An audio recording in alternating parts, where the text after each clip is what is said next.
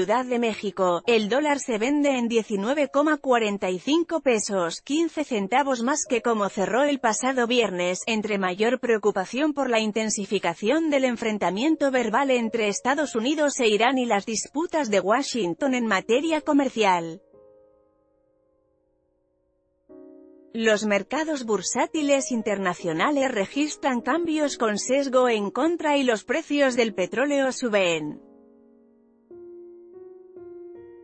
Lea también, concluye semana el peso con depreciación al mayoreo entre bancos, casas de bolsa, casas de cambio, empresas y particulares, el tipo de cambio eleva su valor 12,71 centavos y opera con una cotización de venta de 19,1415 pesos y de adquisición de 19,1315 unidades.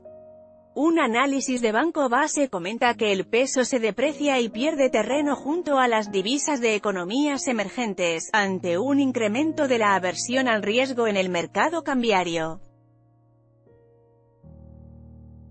Foto temática PXGR Esto se debe en parte a amenazas renovadas por parte de Donald Trump hacia el presidente de Irán, a quien advirtió que nunca deben amenazar a Estados Unidos de nuevo, sufrirán las consecuencias que pocos en la historia han sufrido antes, refiere el reporte.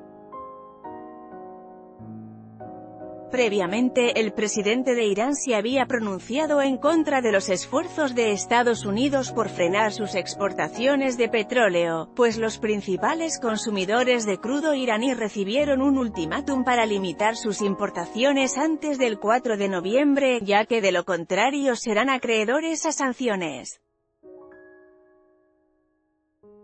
Los especialistas de Banorte y X se refieren que el secretario del Tesoro de EU, Steven Mnuchin, trató de reducir los temores sobre una guerra comercial y aseguró que el presidente apoya la independencia de la Reserva Federal, luego de los comentarios sobre tasas de interés que hiciera el presidente Trump la semana pasada.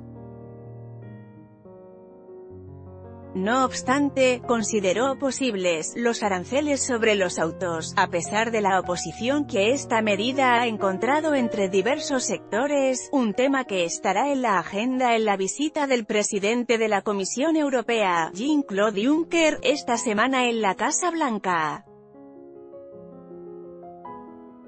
Si bien los precios del petróleo operan en terreno favorable, sube 0,68% el Brent y 0,42% el West Texas Intermediate, los mercados accionarios presentan un perfil negativo. Así, en Estados Unidos, el Dow Jones cede 0,19%, el Nasdaq 0,08% y el Standard LSE. En el caso del índice de los 50 títulos accionarios más importantes en la eurozona, el Eurostox registra un pequeño descenso de 0,19%. Esta nota incluye información de reforma en esta nota, incremento dólar Estados Unidos choque Irán.